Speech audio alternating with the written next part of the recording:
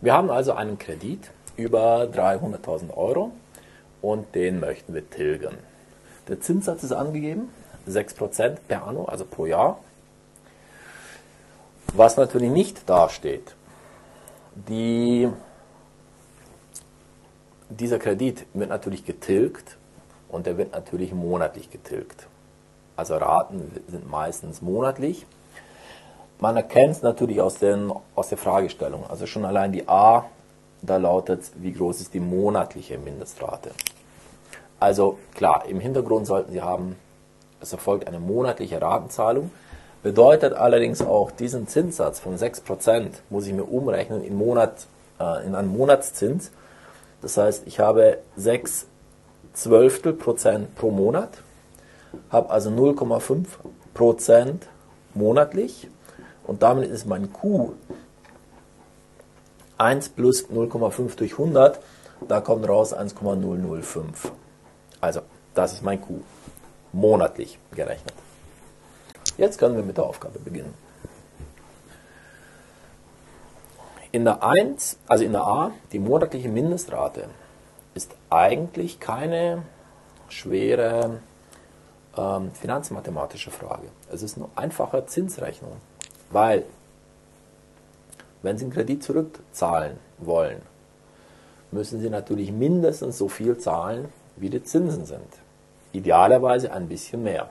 Also mindestens 2, 3 Cent mehr, damit der Kredit wenigstens mal in 500.000 Jahren getilgt wird. Also mache ich folgendes.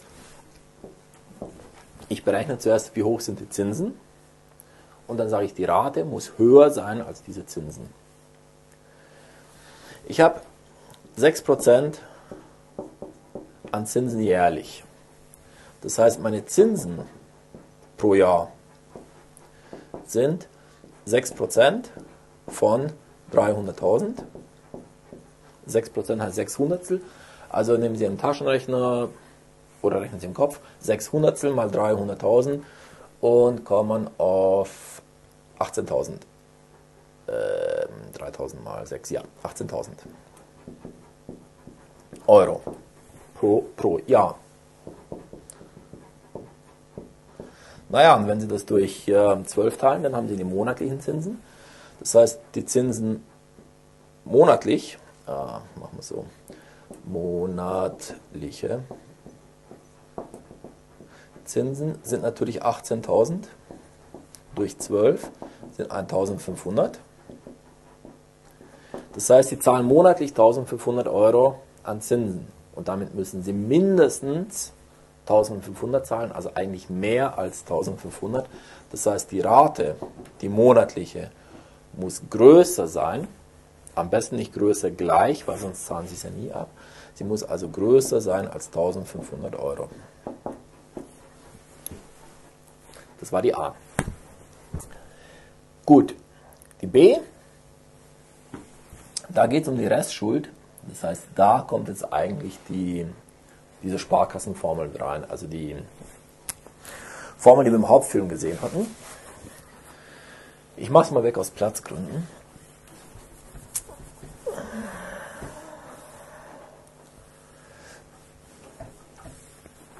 Also Teilaufgabe B. Es geht um die Restschuld. Und im Hauptfilm hatten wir diese Formel für die Restschuld.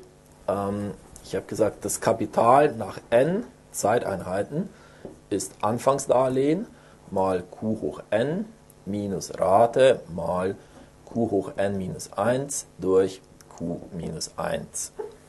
Was weiß ich? Ich weiß, mein Anfangskredit K0 ist 300.000. Ich kenne Q. Q ist ja, setzt sich zusammen aus diesen 6% pro Jahr, heißt 0,5% pro Monat. Und wenn ich dann rechne 1 plus 0,5 durch 100, dann habe ich mein Q, mein Wachstumsfaktor oder wie auch immer. Das ist also 1,005. N sind 12 Jahre. Ich muss aber in Monaten rechnen, weil die Ratenzahlung monatlich erfolgt. Ähm, ah, halt, Entschuldigung, 10 Jahre. 10 Jahre a 12 Monate sind 120 Monate. Und Was brauche ich sonst noch? Die Rate.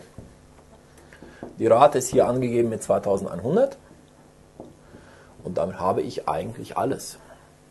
Ich kann das einfach in meine Formel einsetzen, eintippen und bin fertig. Also habe ich hier Restschuld nach 120 Monaten ist Anfangsbetrag 300.000 mal Q hoch n minus Rate mal Q hoch n, also hoch 120 minus 1 durch Q minus 1. Das Ganze tippen Sie ein. Für den ersten Teil sollten Sie 545.819,02 erhalten. Für den zweiten Teil sollten Sie 344.146,63 erhalten. Und wenn Sie das voneinander abziehen, kommen Sie auf einen Restdarlehens, auf eine Restdarlehenssumme von 201.672 und 39 Cent. Also eigentlich das Einzige, was Sie hier machen müssen, Sie setzen es in die Formel ein und wenn Sie das getan haben, dann können Sie sich jetzt eigentlich nur noch vertippen.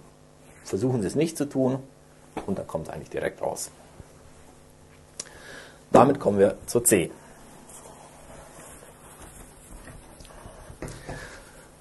In der C suche ich natürlich den Zeitpunkt, dass mein Darlehen getilgt ist. Wenn das Darlehen getilgt ist, heißt es, das Endkapital Kn ist 0. Und auch dafür hatte ich Ihnen im Hauptfilm eine stupide Formel angegeben. Das Darlehen ist getilgt zum Zeitpunkt n gleich ln von r minus ln von r minus k0 mal q minus 1 durch ln von q. Ähm, Im Prinzip auch hier. Wir kennen eigentlich alles. Wir kennen die Rate, die ist 2000, äh, 2100. Also habe ich hier ln von 2100 minus k0, 300.000, mal q minus 1, 1,005 minus 1 ist 0,005 durch ln von 1,005. Mathematisch gesehen sehr einfach, weil es einfach nichts zum Umformen gibt, nichts zum Überlegen. Ich setze einfach nur eine Formel ein. Das heißt, die einzige Schwierigkeit auch hier besteht, versuchen Sie sich nicht zu vertippen, wenn Sie den Taschenrechner tippen. Wenn Sie das getan haben, sollten Sie auf eine Zahl von 251,2 kommen, gerundet. Es sind Monate, weil ich an Monaten rechne. Und wenn Sie das umformen, also durch 12 teilen, dann kommen Sie auf 20 Jahre, 11 Monate bleiben übrig. Und wenn Sie Lust haben, können Sie den Rest auch noch in Tagen umrechnen. Es kommen übrigens noch 5 Tage raus. Also kurz gefasst, ziemlich genau 21 Jahre. Damit hätten wir auch die Laufzeit erledigt. Das heißt, auch hier die Laufzeit, es ist, gibt nur eine Formel. Sie mag zwar hässlich aussehen, aber ich setze einfach alles in die Formel ein und bin fertig. So, dann können wir jetzt zum Schluss noch die D machen. Die anfängliche prozentuale Tilgung. Dafür gibt es eigentlich nicht so eine richtige Formel. Ähm, es wird aber trotzdem sehr häufig gefragt. Vor allem, wenn Sie mal tatsächlich zur Bank gehen und tatsächlich einen Kredit wollen, ähm, dann wird das Problem oft auftauchen. Was machen Sie also? Sie rechnen sich die Tilgung aus. Sie rechnen also aus, wie viel tilge ich und teilen das durch die Kreditsumme. Also das heißt, Sie nehmen einfach die Tilgung durch die Kreditsumme. Und zwar geht es hier immer um jährliche Tilgungen. ähm, habe ich vergessen hinzuschreiben, also jährlich. Und wie bestimme ich eine Tilgung? Naja, die Tilgung ist ja das, ich zahle eine Rate und von dieser Rate gehen mir die Zinsen weg. Also nehme ich die jährliche Rate, ziehe davon die jährlichen Zinsen ab teile das Ganze durch die Kreditsumme. Die jährliche Rate, ich zahle zwölf Monate lang 2100 Euro. Die Zinsen, die ich zahle, 300.000 Euro habe ich aufgenommen. Darauf zahle ich 6% Zinsen, also 600. Ich gehe jetzt wieder von einem 6% aus, weil es ja wieder um eine jährliche Rate geht. Und das Ganze teile ich durch die Kreditsumme. Äh, Tipp das Ganze ein. Sie sollten sowas erhalten wie 0,024 und das bedeutet 2,4 Prozent.